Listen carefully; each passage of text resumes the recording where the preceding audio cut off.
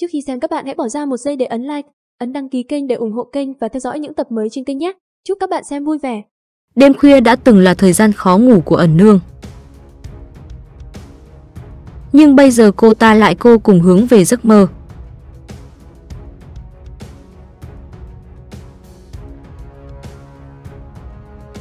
Chỉ thuộc về giấc mơ. Đêm giữa đông của ẩn nương.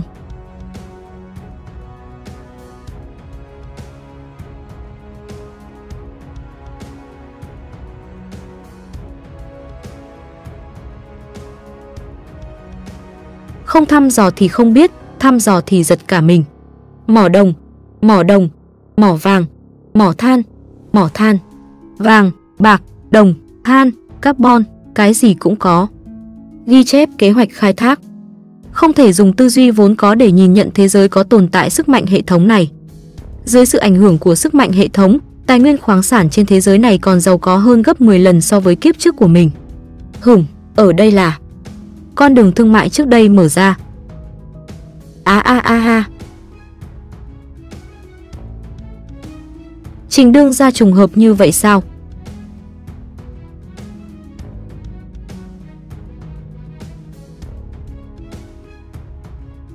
Tên Lam Thanh Đình, thương nhân đỉnh cấp có chút danh tiếng, tuổi 24, đại tiểu thư của Lam Thị Thương Hành. Tham kiến đại đương gia. Không cần phải đa lễ, các ngươi là vừa từ nhung tộc quay lại sao? Tình hình thế nào rồi? Không được ổn cho lắm.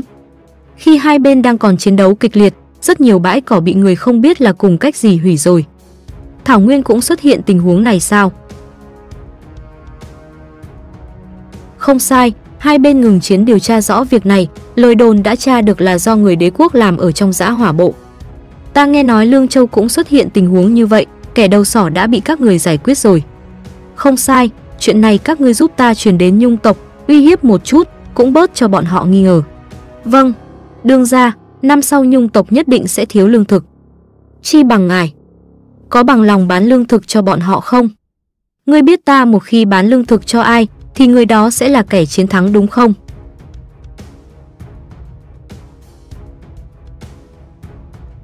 Đương nhiên là biết, nhưng bọn họ không nuôi nổi nhiều ngựa như vậy. Vì thế bằng lòng dùng ngựa để đổi lương thực, giá cả rất cao. Hửm, người bán là ai vậy? Hiện tại là nhung tộc vương, Kim Vấn Đạo. Linh Nhi, ngựa giao lại cho ngươi rồi. Vụ làm ăn này là do đại tướng Lữ Phụng Tiên móc nối trước. Là tên tiểu tử này, điều này thì không lạ rồi. Được, các ngươi đem theo tín vật của ta đến thành cáp mua lấy lương thực. Vụ làm ăn này, ta làm rồi. Cảm ơn Trình Đương gia.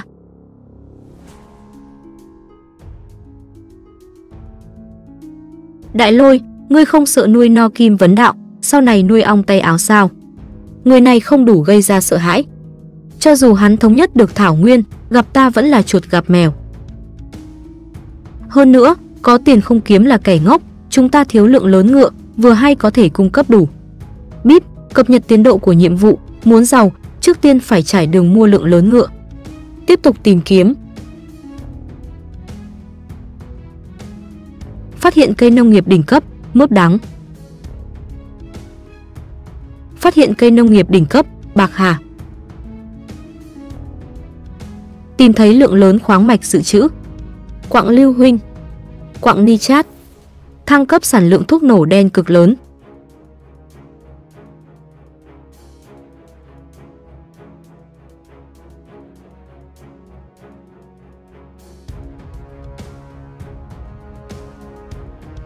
Cuối cùng sau khi bôn ba rất lâu,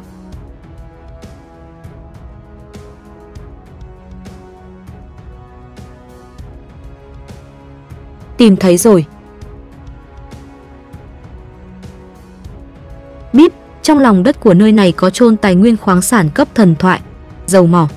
Bây giờ không có năng lực khai thác, chỉ có thể nhìn mà chảy nước miếng thôi. Ừm, tìm được dầu mỏ, chỉ là gặp vận may, ta thật sự cần là vật tinh luyện của nó. Bíp, phát hiện tài nguyên khoáng sản cấp truyền thuyết. Hồ lịch thanh thiên nhiên. Bíp, cập nhật tiến độ nhiệm vụ. Muốn giàu trước tiên phải sửa đường, tiến độ hiện tại 90%. Điều kiện đã đủ, thuốc diệt cỏ, lượng ngựa lớn, lịch thanh. Đường đất bùn sẽ thăng cấp thành đường lịch thanh. Hiệu suất vận chuyển thăng cấp 500%. Bíp, đổi kiến thức cấp truyền thuyết xây dựng đường thanh lịch.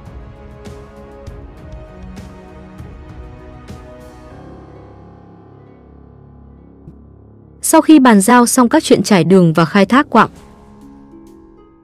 kết thúc khai hoang. Trong lãnh địa có dị thú mới gia nhập. Dựa theo kinh nghiệm trước đây, bốc chúng nhân vật đều là bản thân tự đến tận cửa. Đương Khang đã ở trong lãnh địa rồi, nhưng qua lâu như vậy vẫn chưa gặp phải. Đi. Con trâu đen nó. Là Trình Đương Gia. Trình Đương Gia, lương thực của chúng ta lấy được từ trong thành. Bị người khác bán ép giá rồi. Cái gì? Thành cáp mô, dịch trạm. Hai xe lương thực không cánh mà bay, chỉ để lại một túi cát vàng nhỏ. Ừm, chuyện này ta sẽ điều tra. Các ngươi hãy tiếp tục xuất phát, đừng làm lỡ hành trình. Chuyện giao dịch này rất quan trọng, các ngươi phải đi sâu vào thảo nguyên, đến chỗ của Kim Vấn Đạo đổi ngựa, vì để đề phòng. Ta sẽ cho phép các ngươi cắm cờ của trại cáp mô ở trên xe ngựa, đây đủ để dùng uy hiếp phần lớn liên quan đến mã tặc. Vâng, suy nghĩ. Ẩn nương, làm phiền ngươi cùng với bọn họ đi một chuyến. Một mặt nhung tộc đói đến phát điên đều là một lô hàng hàng cần mạng. Gặp phải loại người này, cơ có thể cũng không bảo vệ được cho bọn họ, giết và đem xác chói ở sau xe lôi đi cảnh báo. Một mặt khác, ta sẽ phái thích khách đi theo, bản thân chính là muốn bày tỏ thái độ rõ ràng với trận chiến thảo nguyên cho Kim Vấn Đạo. Tiện thể dọa hắn, để tránh lấy ngựa khó thuần phục lừa chúng ta. Ta nghi ngờ sừng của thiên tứ sớm đã rỗi đến chỗ nhung tộc, hắn nhất định là có âm mưu không tốt gì đó với Thảo Nguyên, chúng ta không thể khoanh tay đứng nhìn được. Chuyến đi này đến nhung tộc, ngươi hãy cố gắng điều tra rõ việc này. Ngươi đưa theo vảy của Bạch Xà, có thể đi vào giấc mơ cùng với ta ở khoảng cách xa, nếu như xảy ra chuyện gì, ở trong thế giới tâm nói với ta. Ừm.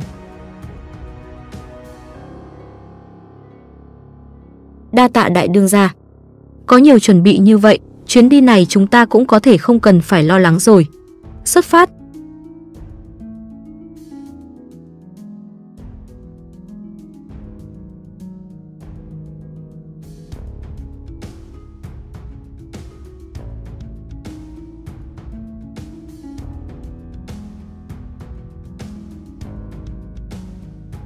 Gặp lại trong mơ,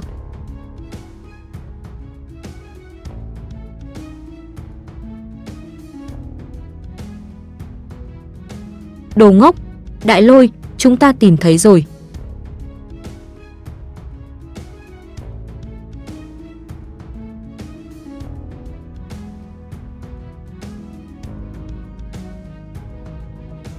Làm phiền ngươi rồi, ngưu nựu. Chuột ở cánh đồng không cho ăn, heo lớn nhất định cũng không ăn được, không tìm. Được rồi lần sau nhất định sẽ đưa ngươi đi vào trong không gian tâm uống Coca-Cola, heo phải để lại, ta cần dùng. Vợ về trước đi, ta và ngưu nựu sẽ đi bắt heo. Sớm đã nghe nói heo thông minh, heo biết dùng tiền để mua đồ ăn vẫn là lần đầu tiên gặp. Ha ha, không có điểm đặc biệt, sao có thể tính là Đương Khang trong truyền thuyết chứ? Đương Khang, nàng đã nghe nói qua nó rồi. Câu chuyện của Đương Khang ở trong giới thương nhân lương thực rất nổi tiếng. Đại lôi, nếu như chàng dùng man lực cưỡng ép bắt đi, e rằng nó sẽ chạy trốn đến Lương Châu ngay đầu tiên, chàng cũng không lấy được sự hỗ trợ của nó. Nàng có chủ ý gì? Ha ha, cùng nhau lên đường. Bíp, kích phát nhiệm vụ châu an dị thú, mục tiêu, đương khang. Độ khó, chưa rõ, cần làm thỏa mãn vài điều kiện nào đó mới có thể giành được chỗ dựa của thụy thú. Thụy thú không thể dùng phương thức bạo lực săn bắt.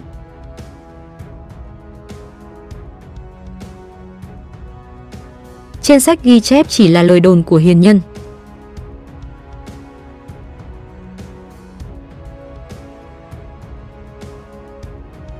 Ta kinh doanh nhiều năm, từ thương nhân của các nơi trên đế quốc nghe được nhiều câu chuyện của Đương Khang không giống. Có lẽ có thể kết hợp ra miêu tả trên sách Hoàn Nguyên Đương Khang thật sự. Mặc dù không thể điều tra, nhưng mà thời đại hòa bình lương thực ấm no kia.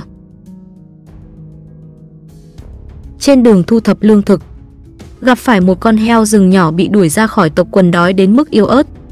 Mới bắt đầu nó chỉ đi theo sau đội lương thực ăn lương thực, có người đuổi đi thì nhanh chóng bỏ chạy. Lúc đó có rất nhiều lương thực, cũng không có người tham lam thịt trên người của nó.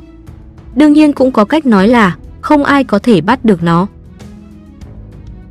Nhưng mà mọi người phát hiện nó không có mùi thối mà heo rừng vốn có, không làm loạn, không đáng ghét, cũng không có người nào ghét nó. Nhưng vì nó đi theo, thậm chí là có người chủ động cho ăn. Trên người không có mùi vị, có lẽ là sau khi biến thành dị thú mất đi dục vọng sinh sản, gần giống với bị thiến. Thể hình và lá gan của nó càng lúc càng lớn, thậm chí là chủ động chặn đường đòi ăn. Các thương nhân lên đường rất hoang mang, liền lấy nó làm niềm vui, dạy nó nhảy. Dạy nó dùng tiền bạc để mua lương thực, dùng lương thực để thuê nó vận chuyển lương thực, nó vậy mà đều hiểu được và làm được. Sau đó, thương nhân phát hiện dã ngoại có nó xuất hiện sẽ không gặp côn trùng lớn. Thậm chí nơi gặp phải nó, nhất định là được mùa. Cùng năm đó, ở đâu có lương thực được mùa, ở đó có bóng dáng của nó. Tình hình như vậy kéo dài rất lâu, vì vậy mọi người đem sự xuất hiện của nó xem thành điềm báo của may mắn. Còn đặt tên cho nó là Đương Khang, cũng chính là một con cám bã chặn đường. Cám bã, cách gọi của heo.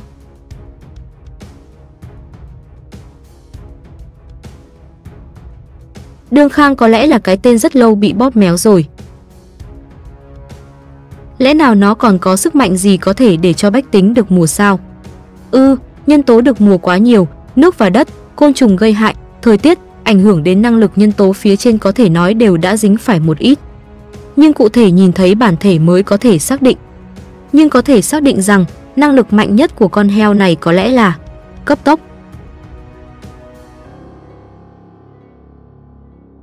Cũng chính là nói, đế quốc đất đai rộng lớn, làm gì mà ở đâu được mùa, nó cũng sẽ xuất hiện ở gần đó. Trong thời kỳ được mùa ngắn ngủi, chạy khắp cả đế quốc, vì thế mới có để lại loại truyền thuyết này. Tốc độ lên đường này cũng có thể so được với Tư Mã Thiến rồi. Đúng rồi, Tư Mã Thiến bây giờ có lẽ là đang ở Hanh Hoa Lĩnh. Tín hiệu ở đó khá mạnh. Vừa hay thử công năng mới của thế giới tâm và vảy rắn phối hợp với nhau. Hiện đại gọi điện không dây, thời cổ đại gọi là bồ câu đưa thư, huyền huyễn gọi là ngọc giản truyền âm, mà võ hiệp gọi là thiên lý truyền âm. Mà phiên bản ban đầu khai phát của ta là một kỹ năng của Sơn Trại, lời đồn giang hồ. Phát triển cho đến bây giờ, lời đồn giang hồ cực kỳ tiến hóa. Ta đặt tên cho nó là Tâm Võng, công năng kèm theo của thế giới tâm, tâm võng, bản kiểm tra. Có thể lựa chọn nhân viên thông tin, biến thái, ẩn nương. Phải thỏa mãn một yêu cầu trong đó, một đem theo vảy rắn trắng do ký chủ đích thân tặng, hai đi vào thế giới tâm. Chậc, chậc, ở thời đại cũ này, giao thông cơ bản là dựa vào việc đi lại, thông tin cơ bản là dựa vào việc gào thét, giữ ấm cơ bản là dựa vào rùn rẩy, đào mỏ cơ bản là dựa vào tay. Là người hiện đại đối với công năng này ta vừa thèm lại vừa hoài niệm. Mạng lưới phiên bản ban đầu. Hi hi, đại lôi, hình như chàng rất là vui.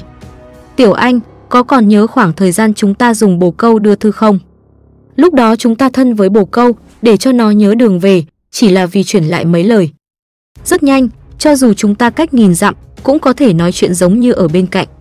Hơn nữa, giấc mơ của ta và ẩn nương trải qua, tối nay ta sẽ đưa nàng đi trải nghiệm một phen. Ừm, còn có Tần Man, Lưu Bi và các huynh đệ khác đều sẽ từ từ đi vào trong tâm võng. Như vậy độ khó quản lý của thiên cao hoàng đế viễn sẽ yếu đi rất nhiều. Sau khi phát triển, biên cương sẽ không cần phải truyền chiến báo khẩn cấp để ngựa chạy đến mệt chết. Ngựa đáng yêu như vậy, ta là nhân sĩ yêu ngựa kiên định. Là người hiện đại, có cơ hội xây dựng mạng lưới nhất định là sẽ toàn lực khai phát. Kẻ ngốc mới đem tầm nhìn kéo thấp xuống lạc hậu như người cổ, rồi lấy đao thương liều mạng với nhau. Cái này thì có khác biệt gì so với che mắt bịt tai đâu chứ? Hơn nữa vì quản lý địa bàn càng lúc càng lớn, bất cứ mọi lúc mọi nơi cũng có thể giữ liên lạc với đại bộ đội ảnh hưởng đối với cuộc sống và tình hình chiến tranh đều vô cùng quan trọng. Đương nhiên, lần đầu tiên thông mạng kiểm tra là quan trọng nhất, cũng không cần phải quá nghiêm khắc. Có phải muốn khởi động thông tin từ xa, cần tiêu hao giá trị sợ hãi, khoảng cách càng xa, tiêu hao sẽ càng lớn.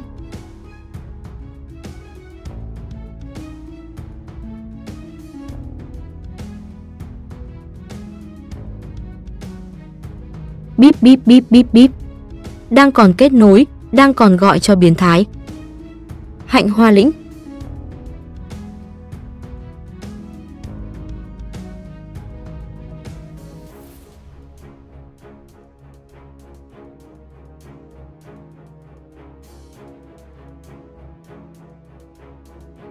Mọi người xem đến đây xin hãy ấn đăng ký kênh, ấn like và để lại bình luận tương tác với chúng mình để theo dõi những tập mới nhất khi ra nhé. Này này này, nghe thấy không? Ủa, giọng của lão đại trực tiếp xuất hiện ở trong đầu rồi.